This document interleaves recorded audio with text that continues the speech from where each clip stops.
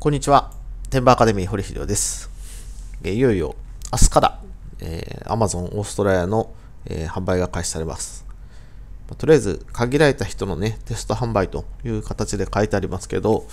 まあ、これでうまくいけばそのまま、えー本行こうと。まあ、なんか問題が開ければ、あ開けあればですね、まあ、一回ストップするかもしれませんけど、まあ、何しろ明日から始まります。で今、まあ、アカウントを作ってもね、えー ID 書類を、えー提出しないと出品できるようにならないと、販売できないという状態です。まあ、これは Amazon がね、えー今年の初めぐらいに、まあ、結構ね、えーインチキ出品者がたくさんいるというのをね、え対応するために取られた形で、まあ、アメリカでも、まあ、最近アカウント作った方はこの書類の提出を求められてたんですけど、まあ、オーストラリアの場合はもう、えー初めからと。で、オーストラリアのチームは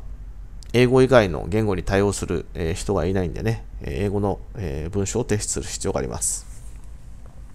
で、Amazon が要求しているのはこういう書類、ね、銀行の取引明細が、ま、郵送で送られてくると、ま、こういう書類です。まあ、日本の銀行でもね、え郵送で来るとこの形なんですけど、えーま、ただ、英語になった、えーこの書類は日本の銀行しか持ってない場合は、ま、用意できないということでね、えー代わりの書類を用意する必要があります。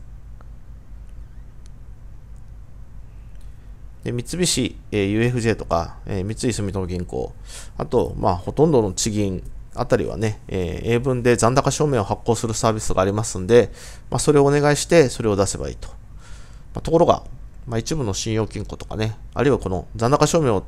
頼むのは、基本的に窓口に行かないと頼めないんで、まあ、銀行が遠いとかね、行く時間がない場合は、とりあえず、えー今オンラインで手に入る、えー書類で提出して、えー OK、ね、NG、えそれらを検証してます。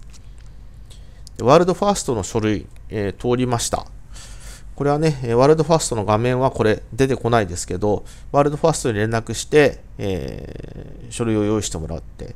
で2種類の書類が出てきたんでね、それを1枚にまとめたものです。ね、初め1枚のやつで、え出したらダメだったんで、やっぱ2枚 ,2 枚の書類を1枚にまとめる必要があると。で、これをね、え1枚にまとめてくれとかってワールドファーストに頼むと、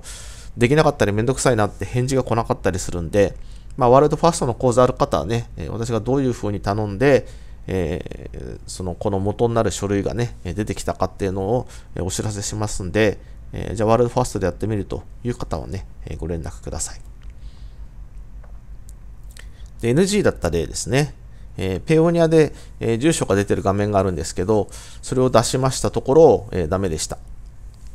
で、未検証なんですけど、えーその、えー住所確認の画面にね、えー Amazon オーストラリアの承認が下りたという状態の画面キャプチャーをくっつける。あるいは、えそれで足りなければ取引明細をくっつけるという形であればね、えワールドファーストの文章が OK だったんで、まあ、こちらも通る可能性が高いと。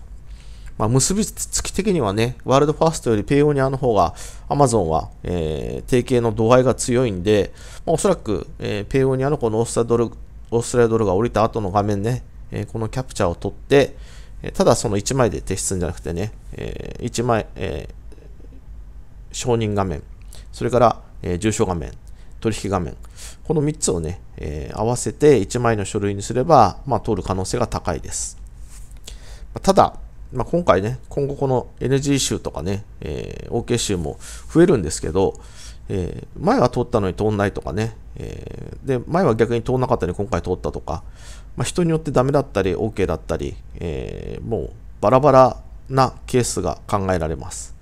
そんな形でね、えーまあ、何を用意したらいいんだかわからないと、これでいいんでしょうかというのはね、遠慮せずどんどんご質問してください。えーご質問お待ちしてます。まあ、今もうすでに通ってね、アカウントできてる方もいらっしゃいますんで、えーきちんと通せるサポートができますからね、安心してご相談いただければと思います。以上、天馬アカデミー、堀秀夫でした。